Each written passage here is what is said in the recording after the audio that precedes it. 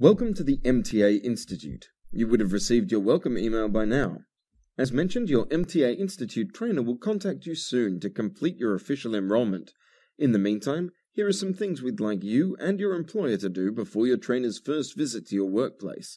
You will need to obtain a unique student identifier, also known as a USI, complete a language literacy and numeracy assessment, gather previously completed qualifications, Log into My Profiling. Step 1 is to obtain a USI. All students undertaking nationally recognized training in Australia will need to have a USI. To create your USI, just follow these easy steps. Visit the USI website www.usi.gov.au and choose Create My USI. Have one form of valid ID ready. This could be your driver's license, Medicare card, passport, or any other ID listed on the website. Once you have agreed to the terms and conditions, enter your personal details, including your name, address, and date of birth. Next, enter the details from your ID.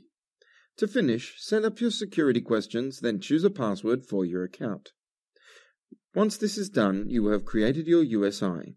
Write it down, keep it handy, and keep it safe. Step 2 is to complete a language literacy and numeracy assessment, otherwise known as an LLN.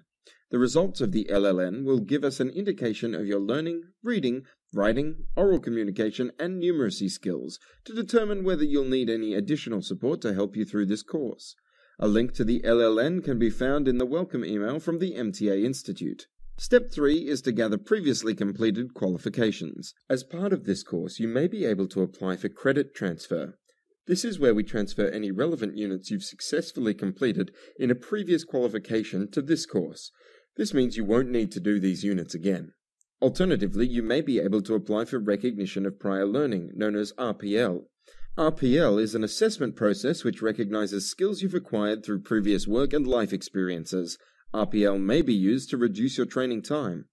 So gather your qualifications and any evidence of work you have completed, for example, job cards, work orders, or invoices that will support your credit transfer or RPL application and have them available at your first meeting with your trainer. Step 4 is to log into My Profiling, which is the MTA Institute's learning management system.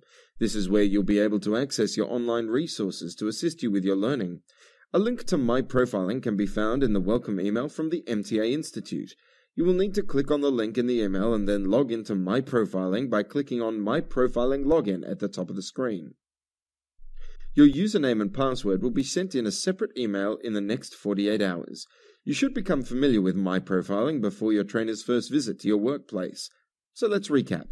Before the MTA Institute trainer visits your workplace, make sure you have obtained a USI, completed a language literacy and numeracy assessment, gathered previously completed qualifications, logged into My Profiling. One last thing. Please ask your supervisor to bring authentic copies of their relevant automotive qualifications to present to the MTA Institute trainer when they visit your workplace to complete your official enrollment.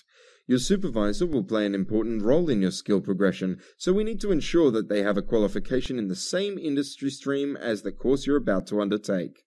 Your supervisor and employer will be provided with My Profiling login details when the trainer visits your workplace.